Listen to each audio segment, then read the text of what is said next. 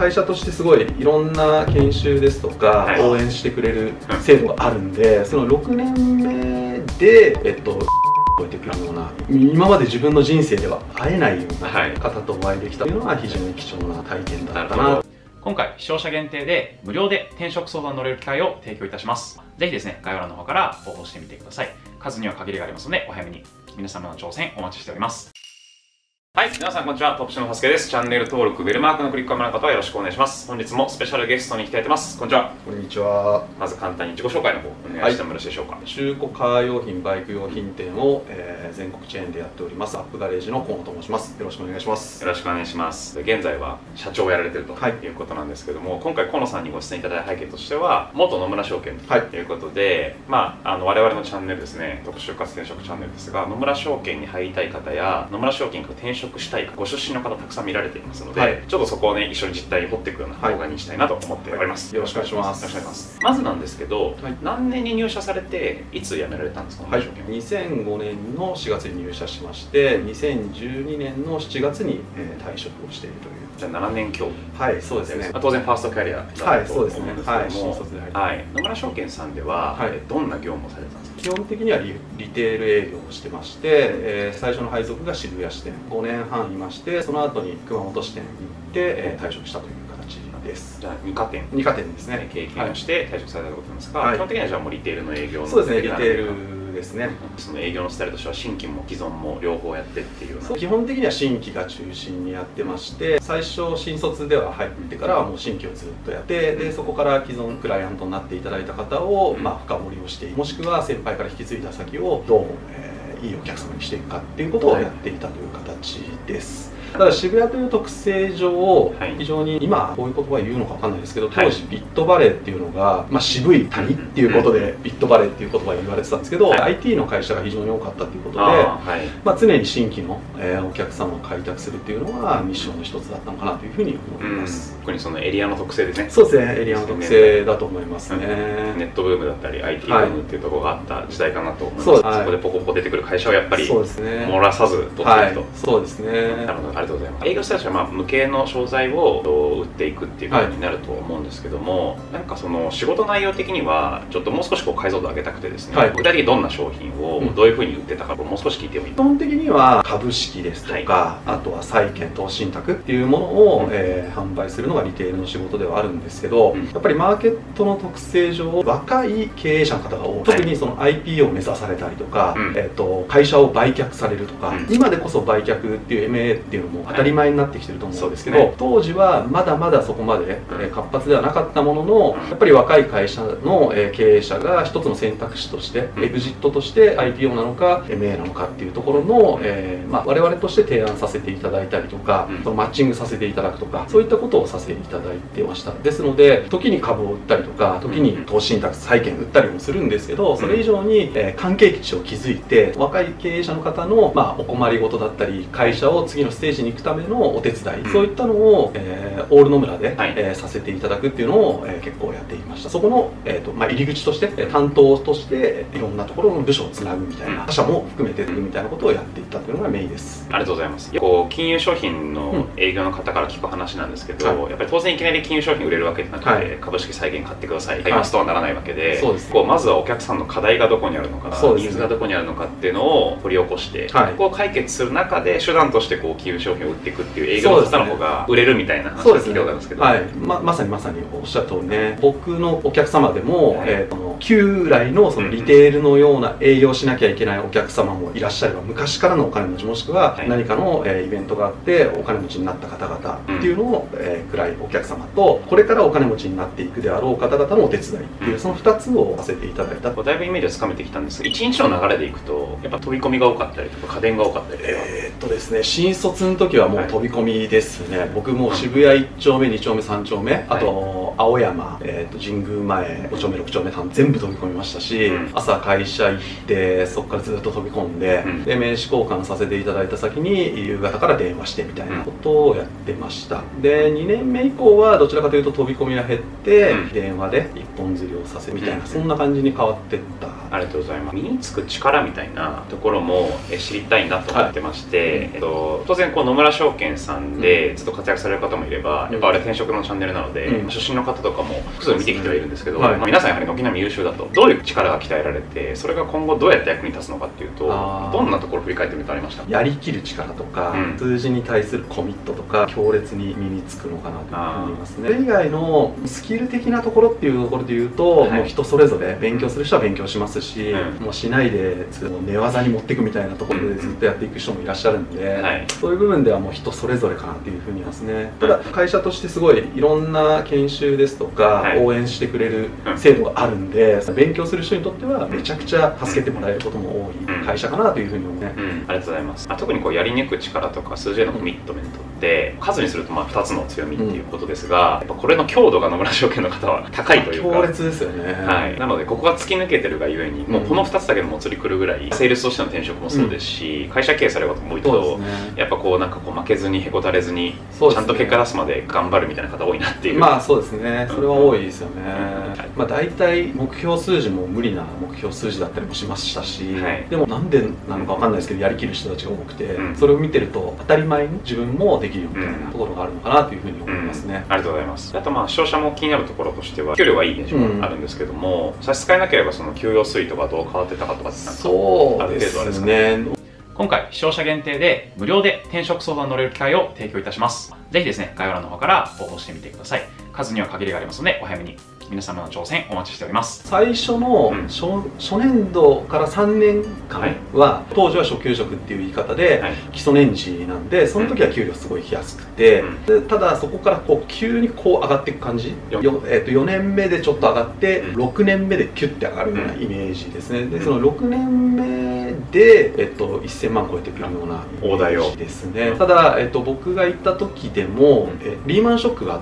たんですけど、リーマンショックの前とかは非常にボーナスも大きかったんで、うん。でリーマンショック後の僕辞めた時は円高不況だとか、はい。い、ろんなことであの景気あまり良くなかったんですけど、うん。それでも超えてくるんで、うん。もし景気が良ければもっともらえたのかなという気はしますね、それこそ、まあ、1300万400万ととかかっていうのももありえるんじゃないかな景気次第ではありえたと。はいやっぱ水準はすごく高いですし我々がよく出ていただくゲストとしては例えば総合商社とかあの損保の方とかいますけども、この辺りに近しい。そうですね。給料かなって印象ですね、はい。ありがとうございます。なんかあとはちょっとこう、まあ、思い出話みたいなの聞いてみたいなと思って、まあちょっと綺麗な話面白い話と、うん。あとちょっと辛かったことみたいでそれぞれいただけたりします。それはですねいわゆる本当のお金持ちの方がお客様にいらっしゃって、はい。金融資産でいうと250億ぐらいあ持たれてる方がいらっしゃっいわてゆるあの会社を売られた方。そうですね会社売られてますね。でその方とその方のご友人とすごい可愛がってもらってて、おー。もう今だとフレコだと思うんで、はい。えー、と大丈夫なんですけど、はい。朝会社行って、はい。夏だと,、はい。えー、とホテルオークラのプールに行くんですね、はいでプおールサイドで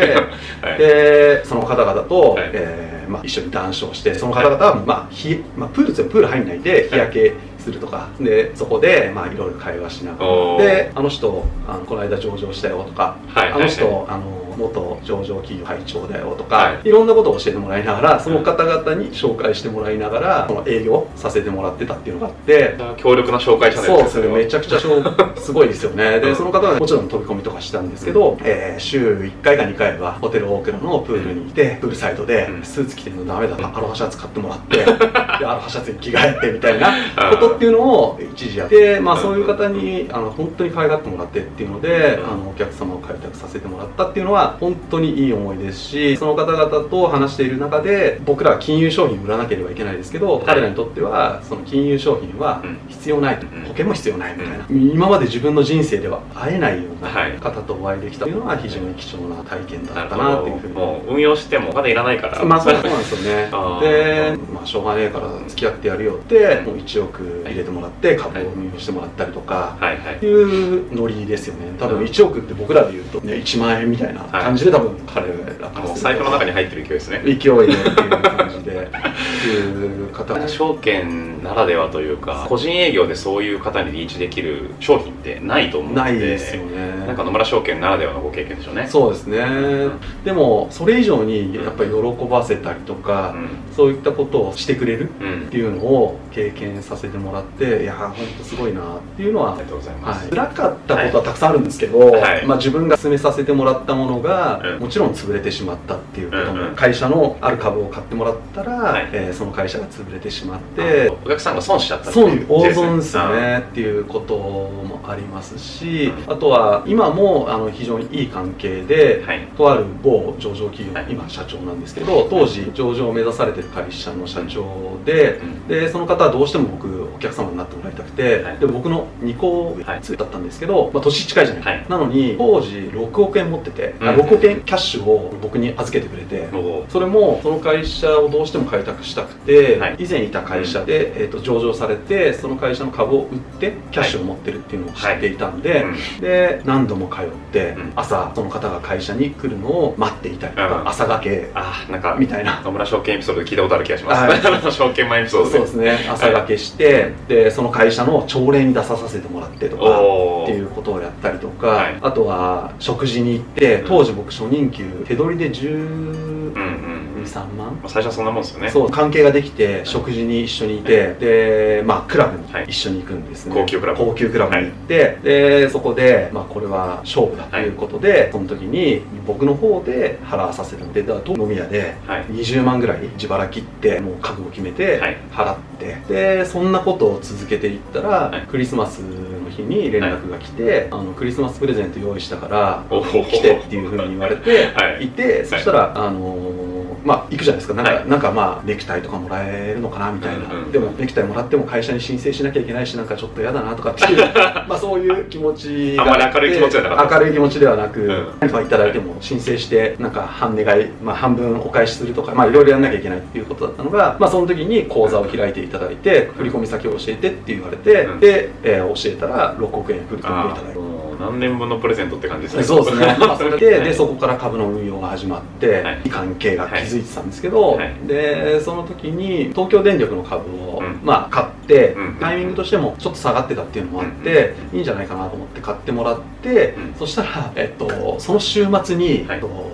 北陸の方の地震があって、はいはい、で柏崎の原発の問題が起こっちゃって、はい、東電が一気に暴落しちゃったんですね。インフラならではの悩みというか。そうなんですよね、東電ってそんな下がんないと思ってたのに、最後損切りしたんですけど、うん、4億ぐらい損切りしたんですね。本当にその時にはうんどうしていいものか自分ではもうねサラリーマンでそんなお金って見たことも触ったこともないし、非常に辛い日々、でまあただそれでも逃げずに通って、で事実を伝えてっていうことをつないでいたら今もう辞めてもう10年以上経つんですけど今もいい関係で、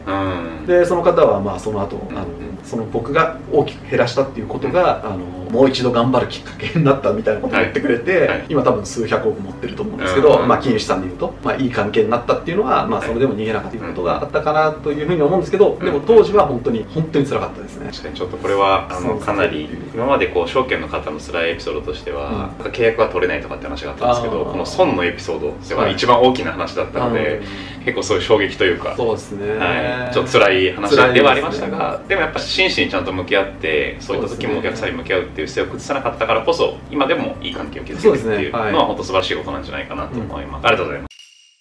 野村証券の実態というテーマで、うんうん、まあ、あの具体的なエピソードも含めてかなり深く聞けたかなと思うので、ちょっと次回の動画ではこれだけいろいろ思い入れもあった会社だと思うんですけどもなぜその野村証券を辞めてしまったのかというところをちょっと触れたらなと思っております、はい、はい、最後にはなるんですけども簡単に調子にメッセージいただいてもよろしいでしょうか？弊社株式会社ブガレージは、えー、中古カー用品バイク用品を、えー、売っている会社になってまして、まあ、皆さんのイメージで言うとブックオフさんのカー用品バイク用品、うん、ハードオフさんのバイカー用品バイク用品版みたいな形をやっている会社になってます。で持ち株会社で、えーと、昨年末に上場しまして、えー、クルーバーという会社なんですが、えーまあ、カー用品バイク用品の業界っていうのは深掘りはまだまだできるんですが、まあ、いろんなことにチャレンジしていきたいと思ってます。特に今力入れてるのは DX 化とか、そういったことに力を入れてます。ですのでありとあらゆる人材が足りてません。ので、ぜひ、えー、弊社を見ていただいてご興味ある方には、えー、ぜひごただただけると嬉しいなというふうに思っております。ありがとうございます。今回の動画であのー、河野さんのね会社興味持ちもらう方は概要欄から応募いただければフォーム準備してます。よろしくお願いします。で我々今特集ではキャリア相談も無料で引き受けておりまして、まあ、今日の動画を見てねキャリアについてもっと考えたいなとか現職に悩みがあるなと思った方はぜひ応募いただければと思います。無料でできますので。で我々ユースポにも正社員募集してますので我々と一緒に挑戦したい方とかキャリア支援に興味ある方はぜひ応募いただければと思います。2回目もよろしくお願いします。それではまた皆さん次回お会いしましょう。See you next time バイバイ